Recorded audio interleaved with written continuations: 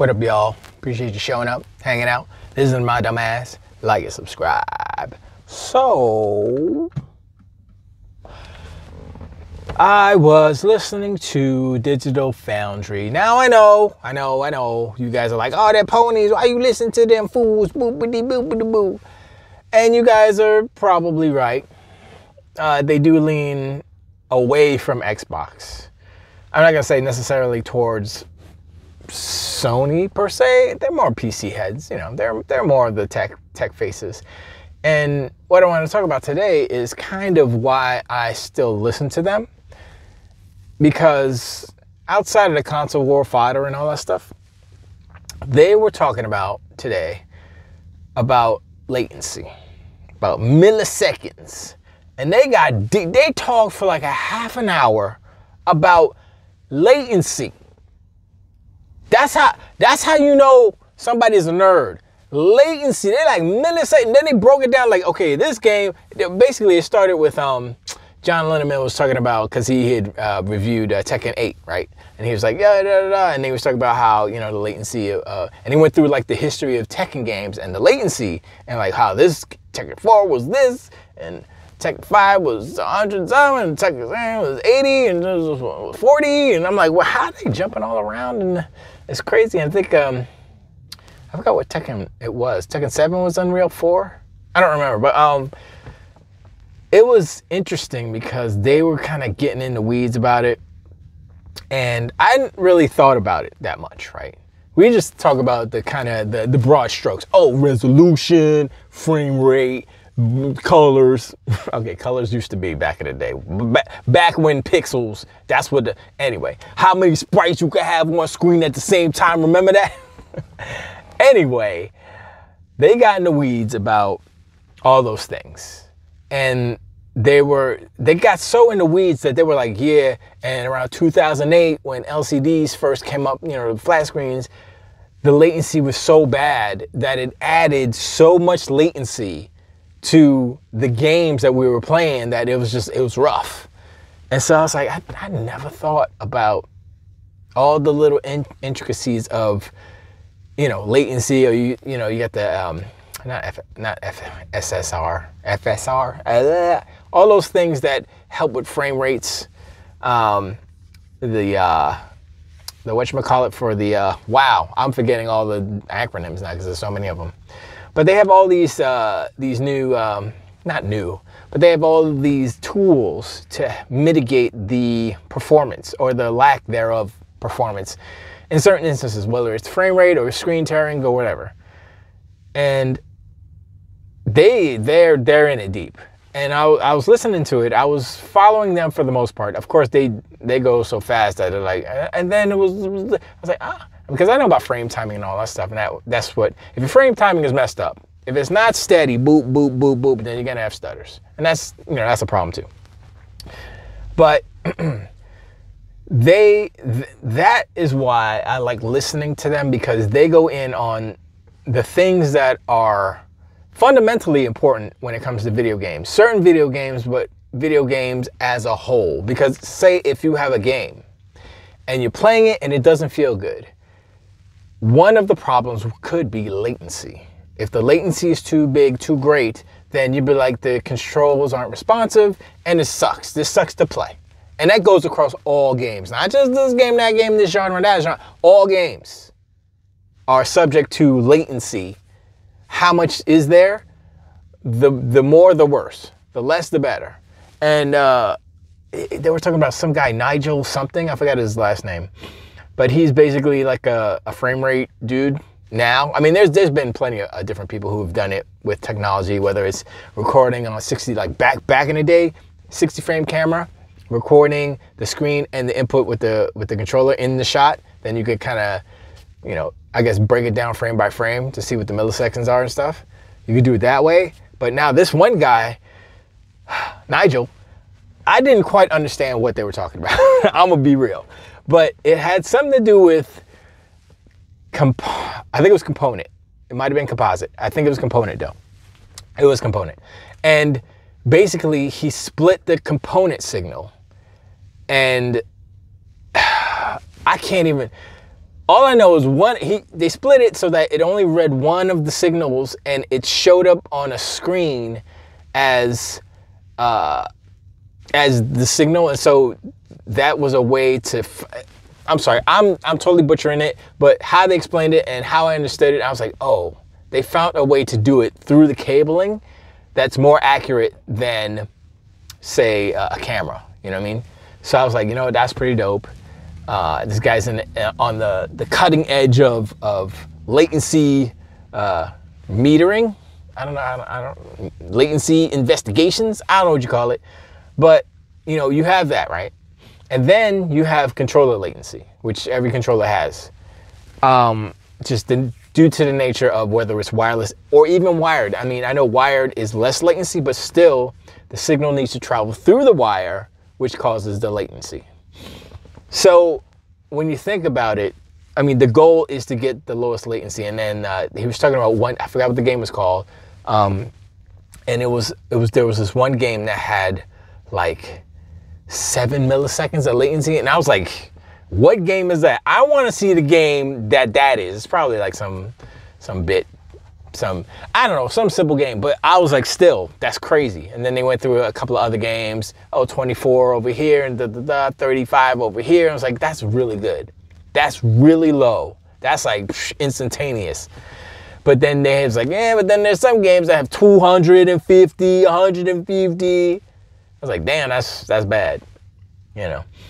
But it's it's it kind of it kind of gives me hope, if that's the right word, for video games in that there are still people out there who are kind of looking at I mean I think they're the only guy they're not the only guys but they're I guess the ones that have the platform that they can kind of talk to a mass amount of people about it but about the, the little intricacies and, and the nuances and the little things that really do make a difference when it comes to quality video games and keeping the quality up and understanding what makes it quality and what we need to do as a community, as gamers, as creators, as developers to keep the quality steadily moving up. Yes, the technology and the hardware will get better, so hopefully latency will get uh, will get better or lessen. But at the same time, a lot of these technologies are graphics forward. They're they're trying to make the graphics better and make it look better, and that will affect it will affect latency because there's only so much you can shove through the pipeline. Now the pipeline gets wider, sure you can put more graphics, but you got to leave room for the other stuff. And so I just hope, um, well, I, I mean, it'll still happen because the fighting game community is always aware not the fighting game, well, the fighting game community, but also the, the devs who make these games are aware that if they make a game with crappy latency and it's a fighting game, ain't nobody gonna play it. You know, that's you know that's one of the things you have to do right. So, but I, I definitely like that that aspect of, of how Digital Foundry does their stuff and they talk about stuff. Everybody's still talking about Palworld and all that stuff, and eh, you know, it's all good, but you know, now, how's the latency in that game? Nobody knows. But I mean, like, look, aside of the nerdy latency talk, and I'm, there's other nerdy things to talk about when it comes to video games that make them dope or make them fly or make them whatever. But the the the the talking points, the rhetoric, the the thing that I noticed that the donkey unicorns and the ponies aren't really talking about is PlayStation games what what why aren't they talking about their game? It's like I'm like all I see is like, yo, these ponies are crying about power, blah blah blah blah blah. Didn't The Last of Us remaster two come out? The Last of Us two, they came out, right? Why, why aren't they talking about it? I mean, I know they got a 90s. I think it got a 90 something. I don't know. I haven't looked at the Metacritic on it recently. But why aren't they talking about that game? I would say mainly because it's like it's a remaster that doesn't even look like a remaster. they are so man. And then boop boop boop. Sorry it took uh, 10 minutes to get to this, but dude, Until Dawn re- remaster? Is that what they're doing or are they doing a remake? I don't look, I 2024 is a write-off for Sony. They have nothing. And they're gonna try to say, oh, Helldivers 2 and Final Fantasy 7 and all these games that aren't their games.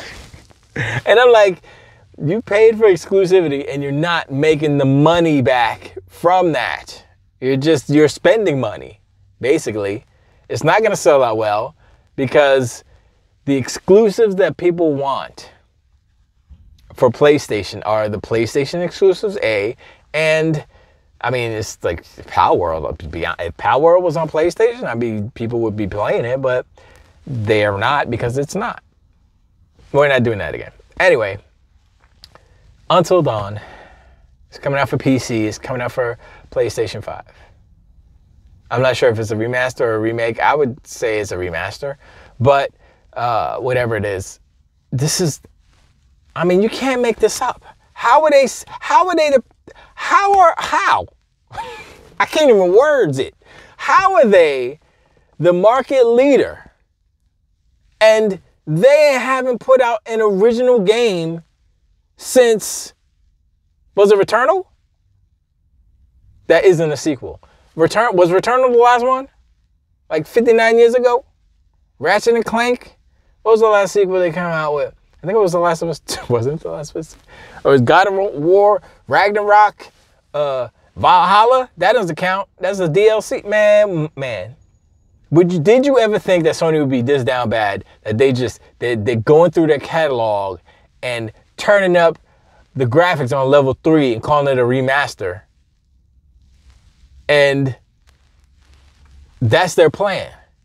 Their plan is that and all the third party games that they bought. they bought exclusivity for. Man, man. Why, why, aren't, why aren't the ponies like, hey, PlayStation's going out of business. They're going to be third party because that's all they got is third party games. They ain't got first party games no more. I guess next year they'll have a first party game. Uh, what what would it be again? I don't even know. Uh, I guess Ghost of Tsushima 2. That's a game I think they're making. Um, the Horizon MMO. I don't I don't have any look, I have no faith in Sony's ability to make anything multiplayer, so there you go. Uh let's see. I think another Uncharted or another God of War. Or la- wait, so Uncharted well Naughty Dog. See what, what, would Naughty Dog make? They're gonna make another Uncharted or they're gonna make a sequel to Last of Us. It would make sense for them to do Last of Us because they have the show, but I think Last of Us fatigue is setting in because Last of Us 2 didn't really do what they wanted it to do sales wise. Uh, and Neil Neil Druckmann is um, look. I've said this before, and I'm gonna say it right now again. Sony's problem is that they don't make fun games. They don't make games people want to play to have fun. They make these drama heavy, traumatic, hyper violent games. They're like I said, they're trying to be like a award award baits, Oscar bait. They're award bait games. And then you look at last, you look at any of their games, drama, blah blah blah. Like Spider Man's supposed to be fun loving and happy and jokey and a little bit serious here and there, but you know. But they they keep they keep pushing the seriousness on these games every game and then you look at that, and then you look at Palworld, and Palworld is just a goofy, goofy game with monsters and guns and crafting and building. And it's destroying everything that Sony has done for the past 20 years. As far as numbers wise, it's killing them. I mean, it's killing Microsoft too, but Microsoft at least has more than a handful of games that are multi-plat, I mean, I'm sorry, not multiplat. well, they some of them are multiplat, but they're games of service, and they're still going, and millions of players are playing them consistently. I think they they coined them as billion dollar franchises, I believe, and there were like 13 of them or something. That's a lot. And you look at Sony, it's like how many that you got? How many? I mean, I guess Gran Turismo would be one. But anyway, I know I've been retreading this and I know so, somebody in comics said I was all, I was all over the place that's the nature of how how I do these. Uh, it's, it's just like a stream of consciousness. I don't, I don't really write a script or anything like that. It's unscripted. Like I'm not gonna brag about that because that's not some, something to brag about. I should have a teleprompter and a suit. I don't think I would wear a tie. I can wear a tie. I don't. Anyway, uh, but yeah, uh, the PlayStation they they're uh, they're super dry, and they're the way that they make games it's, it's so weird because they have they literally have Astrobot and they're not doing nothing with Astro. They literally have something that mad people would play and they're not doing anything with it. Dude, it's the leadership. I, there's nothing I can say. It's the leadership. They're they're blowing it, and I don't think that anything's gonna change that much. At least not this year. I mean, we have to look at we have to look at them very closely and see the trends and see what they're doing, see what they're putting out, see what their output is, A, and see what kind of games they're making. If they don't make games, like you look at Nintendo's stable, it's all family friendly for the most part. For the majority of the games, all family friendly, and mad people are playing it because the gamers that grew up have kids now. The some of them have grandkids, and boom, that's that's what's up. So they got th- they have almost they have three two or three generations of gamers from the original gamers to the, the grandkids, and they're still they have the nostalgia from the older the originals. They have some nostalgia from the middle kid, and then they have new kids for the new stuff that they're making. They know what they're doing. You know, toys never go out of style because there's always new kids to play with toys. That's what Nintendo is. Nintendo is a toy company and they are doing it right. Sony is trying to be awards, awards, awards, prestige. We're the top of the food chains, blah, blah, blah. But nobody wants what you're serving. So I don't see, like I said, the one, I mean, Ratchet and Clank, that was okay, but it didn't perform either. You know, I mean, I guess what I'm what I'm thinking is that they're their approach, like how they're presenting these games that are kid games, they're they're not they're too adult. They're too dark. You know what I'm saying? So it's like look at Palworld, colorful, bright. Even even though the pals have weapons, they have rocket launchers and machine and all kind of stuff blowing each other up. You punching pals in the face like pop, pop, pop. You're punching chickens, and they're like tweetly tweet tweet, and you suck them in the ball and you go work on my camp, go build me some houses. But it's cute. You look at Ratchet and Clank, it looks good because graphics. Is it cute? I don't know. It, was the movie even successful? I mean, I remember they came out with a movie. I was like, oh, that's kind of cool. That makes sense. And then it was, it, psh, nobody talked about it. I guess it was bad. I don't know. And that's that's kind of funny because Sony literally has it's Sony Animation. That's who I would believe that's who did it. They have all the tools to make the thing, but it seems like with their IP, they're just not they're not doing it. You look at you look at Ratchet and Clank the movie versus Super Mario Brothers the movie, the new one that uh, Illumination Man, Illumination. And I, I watched that one. I was like, all right, it's it's not horrible, but it's not the best movie I've ever seen but I must probably uh, gather or bet or say that it was better than Ratchet and Clank. Anyway, I'm sorry, tangent. I'm just saying, the moral of the story is Sony's approach to gaming is too dark. And yes, there is a place for that, but when all of your games are all of that, then you're going to have a very small niche audience that will not buy hundreds of millions of copies of The Last of Us 2 because nobody want to play that depressing ass game. I mean, some people do, but most people don't. Like I said before, video games is escapism. If you're having a hard, if you are like I'm against murder and violence, you're not gonna play The Last of Us, are you? If you're like, yo, I I'm a detect I'm a homicide detective by day. When I come home, I just wanna play with colorful animals and just goof around and nobody dies, just knock them out and make them build stuff. That's what I want because my day job sucks and this is better. And yeah, they don't want to go from looking at the real death and destruction and then go home and play some simulated death and destruction. Who? Most people don't want that now. There are some sadistic people out there who like violence, who like it rough, if you will. Uh, sure, that's niche, a little, little. There's not a lot of people like that. So I don't, I don't understand the mentality of Sony. Like you look at all their first party games, right? And what what are they? You know, I would say God of War is you get a pass with God of War because it is fantasy, basically. I mean, I know some people get get upset because it's literally it's literally religion or mythology slash religion. Norse it's Norse Norse mythology and Greek mythology. I guess I got to hit all the mythologies, right? Uh, is it called Egyptian mythology? I don't think so. Are they gonna go to Egypt? They should. They should have Ra and uh, Osiris and uh,